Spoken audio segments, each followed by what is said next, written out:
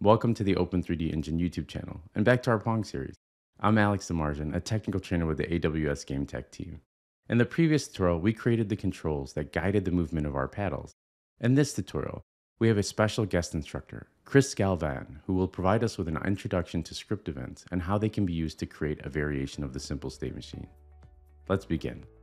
Hi, Chris. Hey, Alex. Thanks for the intro. Like you said, my name is Chris Galvan. I'm a senior software engineer with AWS.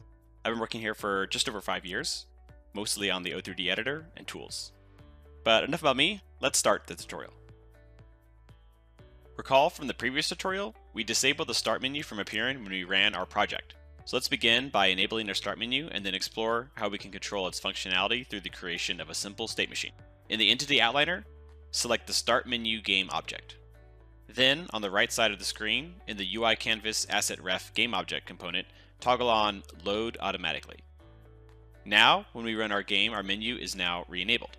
I would like to create a simple state machine to keep track of the various game states.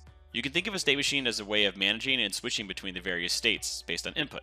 In respect to our Pong game, when I press the Enter key on my keyboard, I would like to enter a state called Start Game. Since O3DE is designed around event-driven paradigms, a great tool we can use to create our state machine are script events. In our asset editor, select File, New, then Script Events.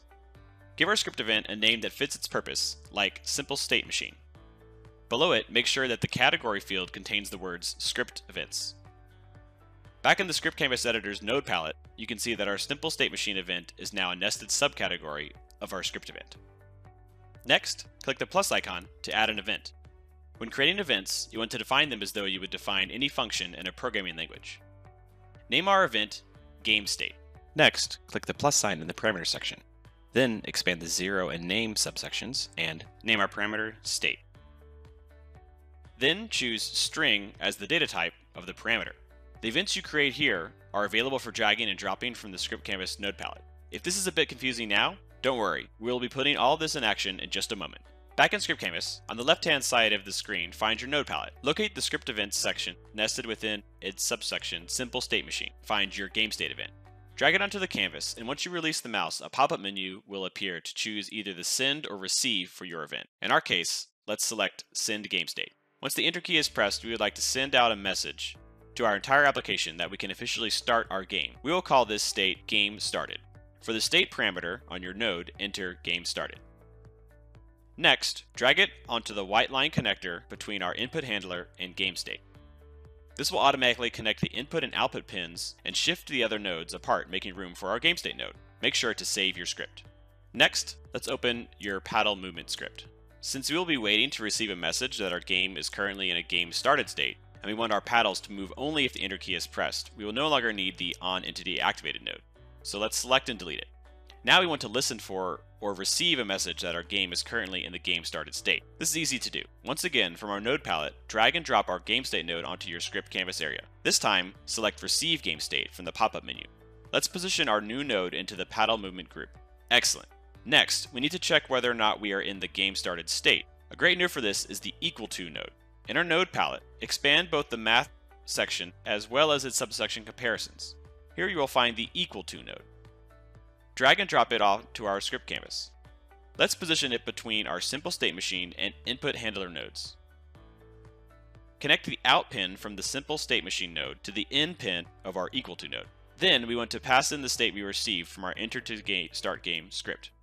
To do this, connect the value pin from simple state machine node to the value A pin of our equal to node. The value we would like to check for is whether or not we received the game started text. For value B, enter game started. Make sure that the text is identical. It is case sensitive and will not work otherwise. Next, arrange your nodes so they are better aligned and connect the value true pin from our equal to node into our input handler's connect event node. If the values of A and B in our equal to node do not match, the input handler will not be called, stopping any paddle movement in our game. Save your script.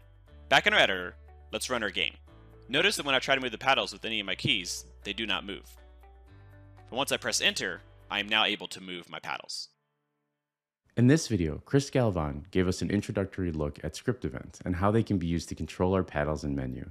In the next tutorial, we'll begin to script our ball's movement and explore concepts like physics materials and rigid bodies. One last point before we go.